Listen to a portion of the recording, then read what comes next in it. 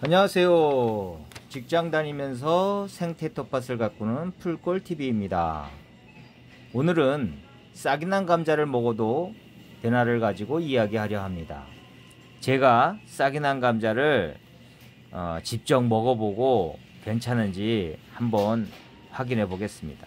농협 하나로마트에 장을 보러 갔는데 감자를 한 상자에 천 원에 파는 거예요. 어 그런데 싹이 났. 그래서 직원에게 물어봤죠. 어왜 싹이 났어요? 그리고 왜 싸게 팔죠? 그랬더니 일주일 전에 매장에서 코로나 환자가 나와서 매장 문을 며칠간 열지 못했는데 그 사이에 팔지 못한 감자에서 싹이 났다는 거예요.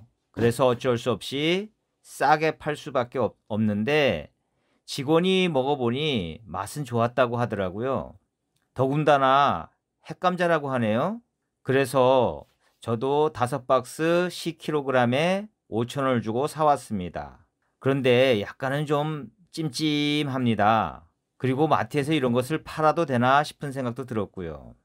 어쨌든 이것을 사와서 집에서 한번 먹어보고 먹어보고 그 소감을 여러분들에게 전해드리려고 합니다. 음, 감자는 어, 좋아하는 편이거든요. 반찬으로도 해 먹고 간식으로도 먹고요. 그런데 싹이 난 감자도 정도의 차이가 있으니 감안하고 시청해 주셨으면 좋겠습니다. 감자 표면에 주름이 잡혔다든지 싹이 파랗게 되었다든지 감자 표면이 녹색이 되었다든지 하는 것은 버리는 것이 좋습니다. 싹이 난 감자는 사실상 위험합니다. 매장에서 아까워서 파는 것은 알겠지만 말이죠. 싹이 난 감자는 솔라닌이라는 독성을 가지고 있는데 구토, 두통, 위장장애, 설사, 복통 등을 일으키고 심하면 사망에 이르기까지 한다고 하네요. 그런데 마트에서 본 감자는 표면이 매끄러운 편이었고 색깔도 파란 부위가 거의 보이지 않았기에 눈만 잘 따내면 될 듯하여 싸게 구입해 온 거죠. 감자를 자세히 살펴보면 감자에는 감자가 달릴 때 붙어 있던 꼭지 부위가 있어요.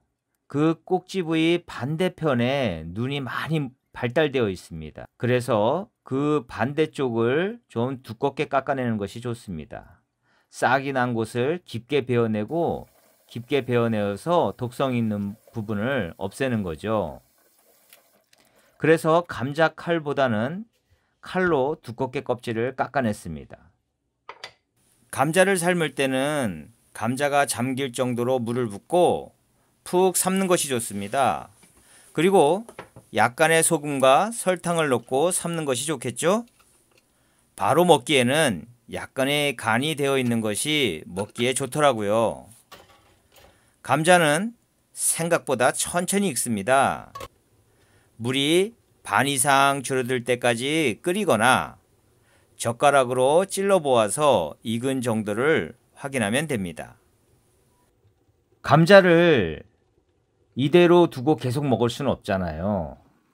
감자를 이대로 두면 싹이 계속 자라서 보관할 수 없게 됩니다. 그래서 감자 껍질을 벗기고 씻어서 열알 정도는 삶아서 오늘 바로 간식으로 먹고 20알 정도는 껍질을 까서 찬물에 담가 두었다가 반찬을 해 먹고 나머지는 깎아서 감자 표면만 살짝 익을 정도로 삶아서 물에 헹구어 내어 냉장고에 보관했다가 간식이나 요리에 사용하도록 하겠습니다.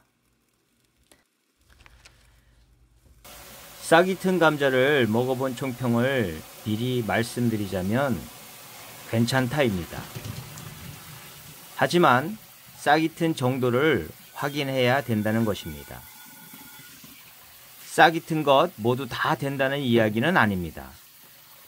감자가 싹이 튼 지 얼마나 되었는지, 감자 껍질의 색깔은 어떤지, 감자 표면의 주름은 어떤지 찬찬히 살펴보고 결정해야 됩니다.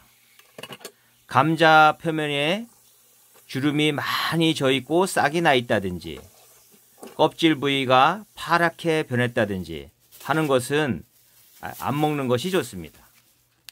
특히 싹이 나고 껍질이 파란 것은 감자살이 파란 것보다 독성이 두 배 이상 된다고 하니 조심해야 합니다. 이틀 동안 저녁, 밤 간식, 아침 식사로 먹었는데 가족 3명 모두 걱정되는 증상은 하나도 나타나지 않았습니다. 그래도 사람마다 다르니 드셔보세요 하고 권하지는 못하겠습니다. 총평은 괜찮다입니다. 음, 감자 맛은 괜찮은데요. 아, 맛있다. 이 정도는 아니지만 아린 맛은 없고 삶은 감자 특유의 맛이 그대로 나네요. 소금을 찍어서 먹으니 간간하고 괜찮네요. 이 영상이 나갈 때쯤이면 어, 몸의 이상 여부가 확인되는 셈이죠. 방송이 나간다는 것은 아무 이상이 없다는 것으로 보시면 됩니다. 감자를 먹은 사람은 우리 가족 3명이고요. 한 사람당 두세 알 정도를 먹었으니까 아, 감안하시고 보시면 되겠습니다. 아침 식사로 와플에 감자와 사과를 곁들여 먹었는데 맛이 괜찮았습니다. 싹이 난 감자 먹어봤는데 괜찮았습니다. 하지만 다른 사람에게 권하고 싶은 생각은 없습니다. 지금까지 시청해 주셔서 감사합니다. 지금까지 유익했다면 구독과 좋아요 부탁드립니다. 고맙습니다.